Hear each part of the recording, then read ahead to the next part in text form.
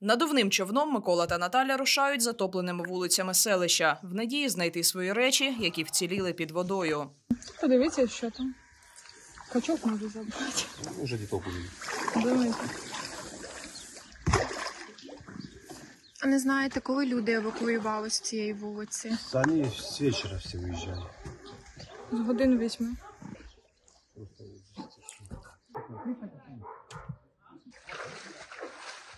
Микола та Наталя в Білозерці перебули весь період окупації. Їх будинок вистояв. Нині він повністю затоплений. В шість вечора.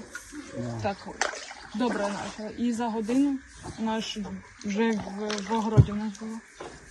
А до цього ну, дуже медленно піднімалося. Де саме ваш будинок? Ну Ось вот прямо. Е, А коли його затопило? Вночі?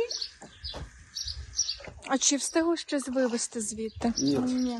Вона Только быстрые вещи. Вон кастрюля плавает. А ми ніяк не йдемо? Напряму дістатись до свого подвір'я не вдалось. Плисти довелось через затоплені городи. Тут, ну як городи людей. Тут полянка така була, просто як. Там озерце, а тут така як поляночка. В сараї на своєму подвір'ї вдалось знайти двох курей, що вижили.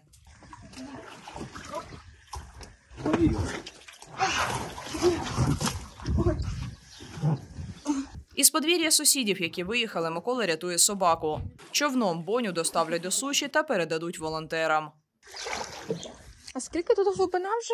А уже очень глубоко. Если уже, я не знаю, ну, Метрів три? ну, сколько тут? Это полтора-два метра. А, да? Заборы сколько высотой? Да, Да, где-то казалось, два метра одинаково. Валентина Гурова, Єлизавета Кротик, Суспільне новини, Херсонщина.